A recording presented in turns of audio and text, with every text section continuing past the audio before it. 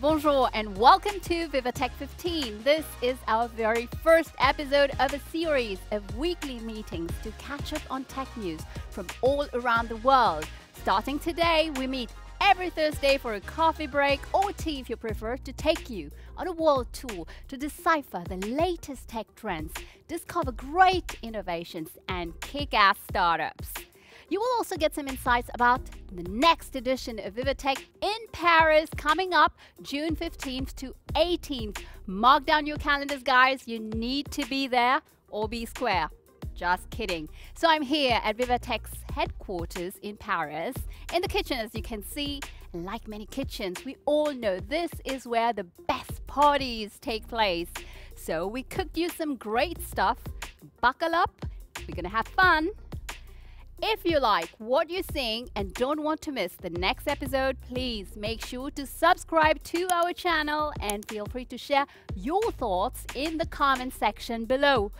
To kick off this world tour, we are starting from our home base, France, and I'm super excited to welcome one of our leading entrepreneurs, Frederic Mazzella, founder and CEO of BlaBlaCar, the international car sharing app.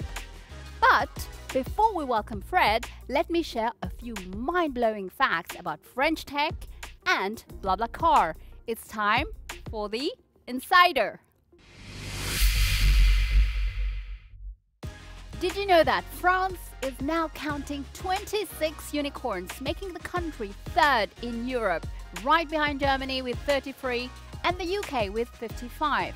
In 2021 only, France added 12 unicorns in a single year, and the amount of money was doubled compared to 2020, with more than 11 billion euros raised. French startups created 1 million direct and indirect jobs, more than conventional companies. I've also done some research about my pal. Here are some blah blah facts for you, and it's pretty mind blowing.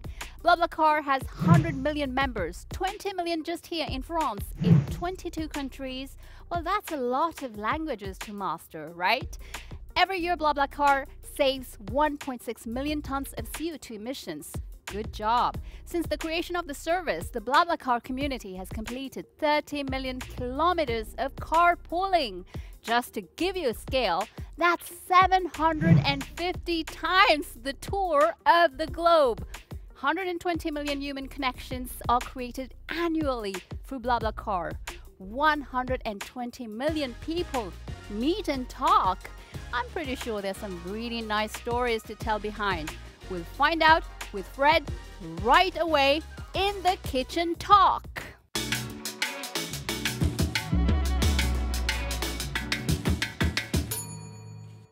Hi, Fred. Welcome to our kitchen. How are you? Hi, Asha. I'm very well, thanks. Right. So just for, but you don't need introduction, but just for our audience, you are BlaBlaCar's uh, founder, a car sharing app, and also the co-president of France Digital, Europe's largest startup network.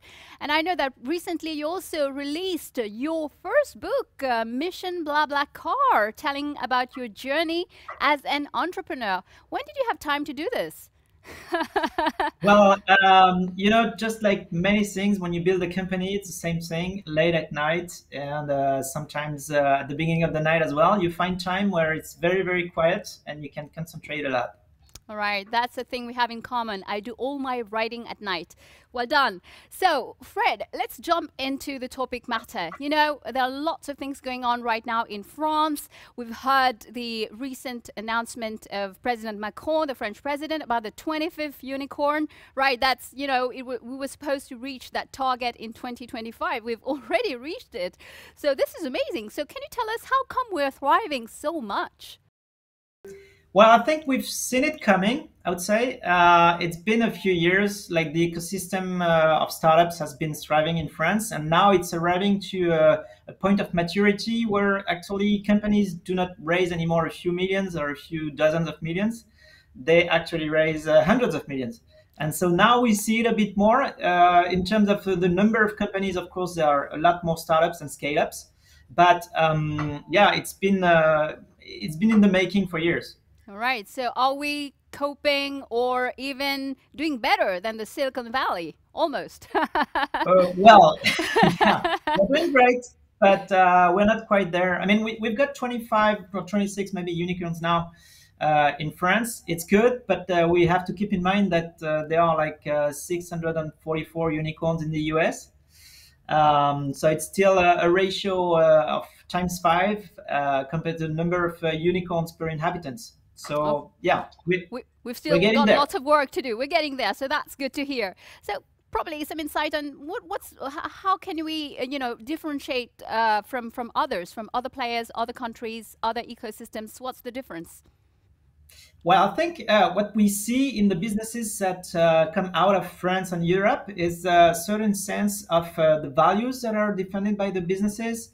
Uh, if I think about circular economy or about uh, impact uh, businesses that I've been creating here, it's kind of a differentiator. We've seen, so that's why we, we've pushed the Tech for Values movement with France Digital, which is the association of startups that I'm the co-president for. Mm-hmm. And, and so we see that um, some world leaders come from here and, and deal with some uh, impact solutions. Like I, I think about uh, back market, you know, which is uh, circular economy for like all the uh, smartphones and all the objects we have, which we can um, recycle, reuse, uh, you know, through uh, through a marketplace. You've got companies like Ynsect who actually produce um, food for animals, but based on insects, which is a lot less polluting than anything else. Mm-hmm. you have, of course, so BlaBlaCar. You know, we've got also so BlaBlaCar for like uh, carpooling and so making uh, less uh, CO2 emissions from our transport. Uh, by pulling people in cars. Today, BlaBlaCar is 100 million people in total and 20 million uh, members in France, which is uh, more than one third of the people who, who, are traveling. So it's a it's a lot, and we also see in the food sector as well with Phenix or Too Good mm-hmm. to Go or Olio, some companies who are like. Um, changing the way we can share foods and not pollute as much. So it's it's kind of a trend. Right. So um, let's get back to you, Fred. So you founded BlaBlaCar like 15 years ago, and before the iPhone was even a thing. What would you say? Is it easier today, or was it harder back then, or I don't know? Tell me. Well, it's kind of tough to do some A/B testing, you know. Um, I cannot like compare uh, exactly right now because all the conditions are always different, but yeah, for sure. I think it's easier to uh, to find entrepreneurs with whom you can talk because there okay. are a lot more entrepreneurs now. Mm-hmm. Uh, it is uh, easier to find funds, I think, to find money because there's a lot more money. You know, it's been multiplied by ten in seven years. So, like last year alone, uh, more than 11 billion were raised by companies. So, like, there are a lot of money coming in.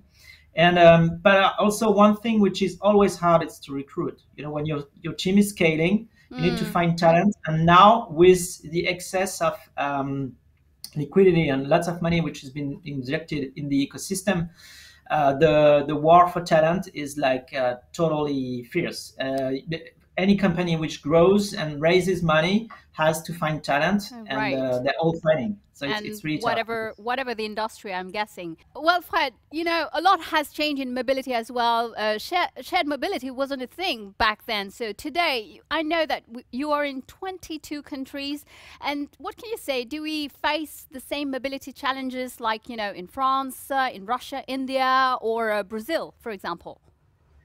Well, no, no two countries are the same, but uh, what we see is that we're complementary to whatever exists. Uh, so in Brazil, there's no trains, and then of course, BlaBlaCar is very popular. Um, but also, when you have trains and buses, uh, carpooling like uh, really um, picks up. So we now see cars as a shareable thing, just like mm-hmm. the other means of transport.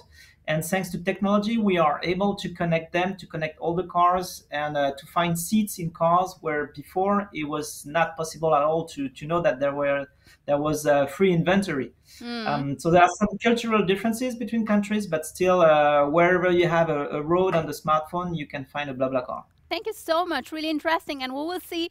Have are you going to be at VivaTech in June? Hopefully, I'm gonna meet there. For sure, yeah. I think it's on the 15th, right? It's on the 15th, June 15th to 18th. It's in so my agenda. Right, Sure. it's on the agenda. So I hope to see you there. Probably we can have coffee. Thank you so much. It was great having you on the show today. And let me remind our audience, you know, guys, June 15th to 18 in Paris, be there. And uh, meanwhile, for those who are interested, you know, to learn more about Fred's journey, Mission blah, blah, car. so go get your copy. And Fred, I want mine signed. Okay, that's your mission. Okay, we'll do that. Thank you so much. Okay, great. Right. Thank you so much. And uh, Thank you so much. see you in June. Cheers. Bye. See you in June. Bye bye. And also, hope to see you in a couple of months at Viva Technology. Remember, guys, June 15th to 18th in Paris. And meanwhile, for those who are interested to learn more about Fred's journey, Mission BlaBlaCar, feel free to go and get your copies. So, you guys are staying with us. We're not done yet. So, what's hot lately in the French tech ecosystem of startups? Alexi tells us all in the Tech Radar.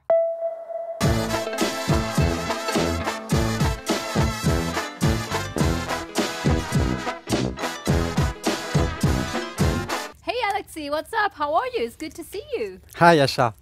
So when I knew we were hosting Frederic Mazzella, I just had to prepare you a little surprise. Oh, I'm excited.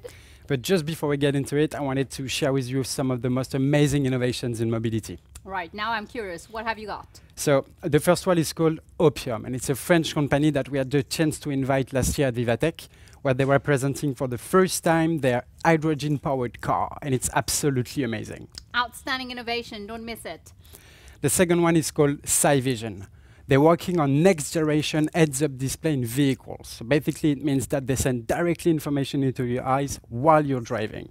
This is sick. I need this. For people like me, it's perfect.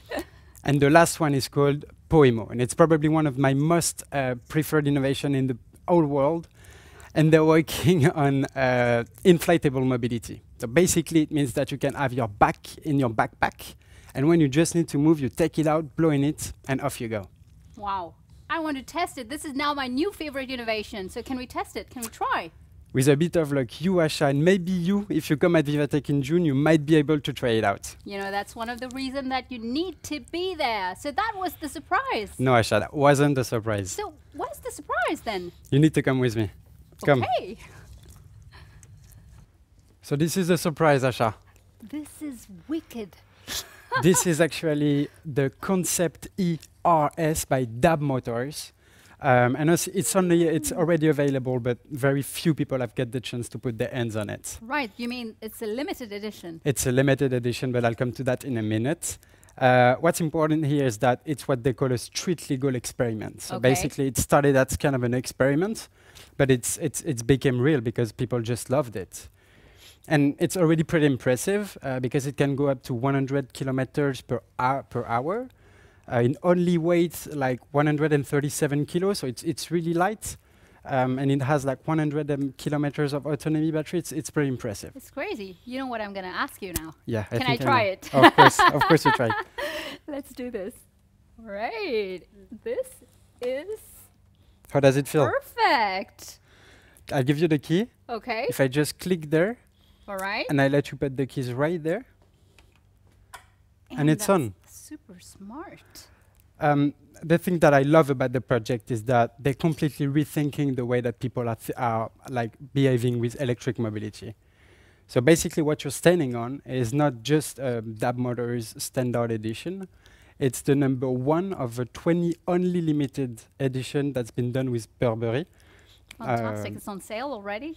It's on sale, uh, but it's pretty expensive. It's 30,000. Uh, but uh, okay. you can buy a car with that. Yeah, yeah, it's it's worth it. I'm sure it's worth it. this is great. So that's brilliant. So amazing innovation. It's it's, um, it's great. So can I take it home? Of course, yes, please do.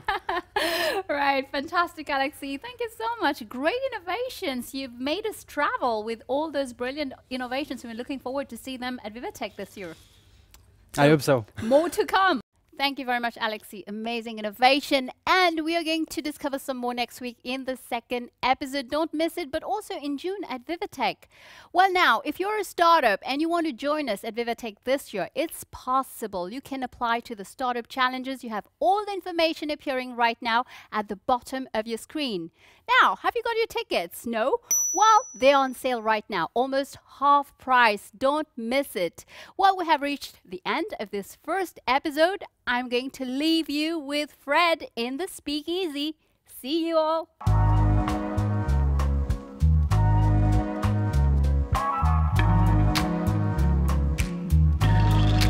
It's above 40,000. Uh, night all. So many people. Maybe Bono. Uh, it's not going to happen the way you thought. Both. Ah, it depends of the moment. Michelle Obama.